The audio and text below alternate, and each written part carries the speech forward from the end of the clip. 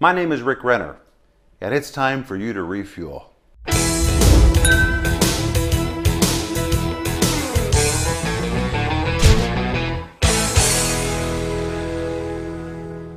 Today is July the 1st.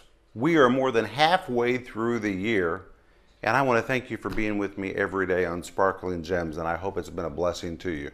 And today I'm speaking to you from my book, Sparkling Gems, and the name of today's gem, July the 1st, is Are You a Revealer or a Concealer? Are you a revealer or a concealer? And our focus word today is from 1 Corinthians I'm sorry, 2 Corinthians chapter 12, verse 20, where Paul talks about gossip, but instead of using the normal word for gossip, he uses the Greek word for a whisperer, a whisperer. And every time I see this in 2 Corinthians 12, verse 10, I think about a lady that was in our church when we were growing up. This woman loved to gossip. She just cherished a moment when she could sit on the divan next to somebody and say, Have you heard this? Have you heard that? And I would sit in our living room, and as a young child, I would look at her and would think, How in the world can you be so two faced? To behave one way at church, and immediately after church, your lips are so loose. They're talking about everybody and everything, even things that you don't even know if it's true and she knew it was wrong to do it, and that's why she whispered it. If you look, gossip usually happens very quietly. People usually don't call a meeting together and say, I want everybody to listen today, I'm going to gossip. Usually people say, Have you heard? Do you think it's true? Well, I don't know if it's true or not, but I'm going to tell you, I have it from a pretty reliable source. Or one girlfriend says to another girlfriend, psst, psst, Meet me in the bathroom.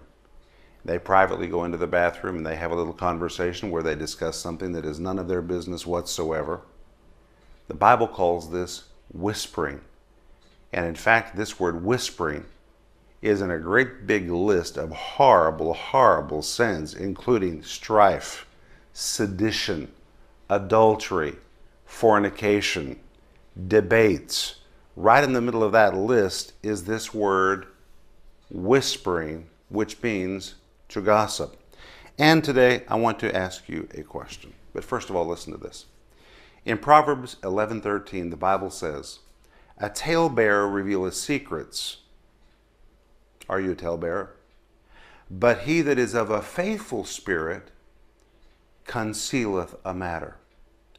So here's some questions we need to consider. When people think of you, do they think of you as a talebearer who repeats everything you hear, or do they find you to be confidential, private, and trustworthy? Do you have the reputation of being able to conceal a matter? Or do people think you're two faced and have loose lips? Are your friends certain that if someone starts to say something negative about them, you'll walk away? Or are they afraid that you're going to sit and let them put all that garbage in your ears? You have to remember that you have a right to get up and walk away from every conversation.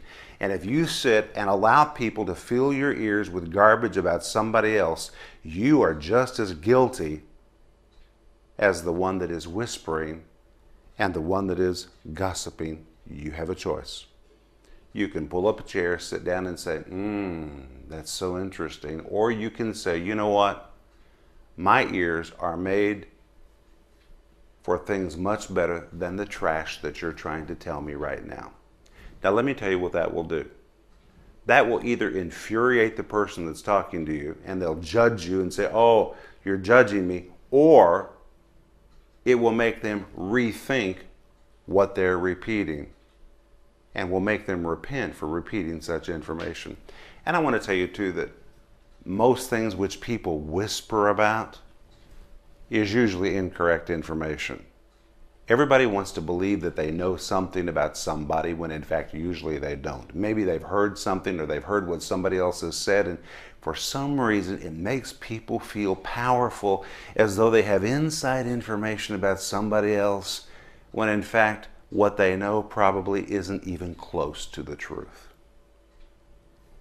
So when you have this temptation to whisper about somebody else, Ask yourself would Jesus do this? Would the Holy Spirit do this? Am I a talebearer or am I a concealer? Make sure you choose the side which pleases God.